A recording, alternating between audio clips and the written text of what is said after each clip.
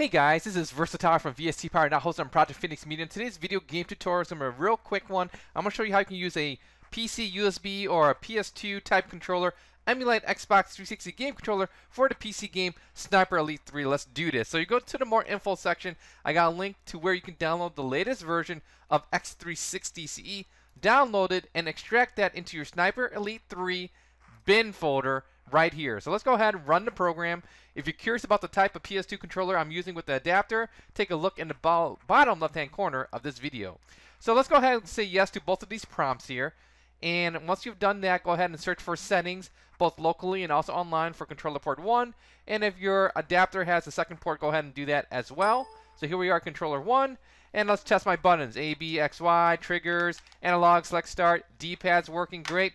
Click on save, and you're good to go. So what I'm going to do real quick here is I'm going to go ahead, start my game, jump into a game here, and show you proof that, yeah, this does work. Let's do this. It's going to be a lot of good times. All right, here we are at the main menu of Sniper Elite 3, so let's do this. So using your game controller, just go to options here, and go down to controls, and then go down to control layout, and I just want to show you proof that, yeah, this does work, and here's the mappings for your Xbox 360 game type controller. So I'm going to go ahead, let's go to challenges, and I'm just going to pick uh, solo survival today and I'll just pick one of these random difficulties and show you proof that, yeah, this does work. So just a recap, install the game, get the latest copy of X360 CE, put it into your bin folder, run it, map your buttons, and you're good to go. So let me just show you real quick proof of my guy, move my mouse out of the way, my guy just running around, show you proof that, yeah, this does work.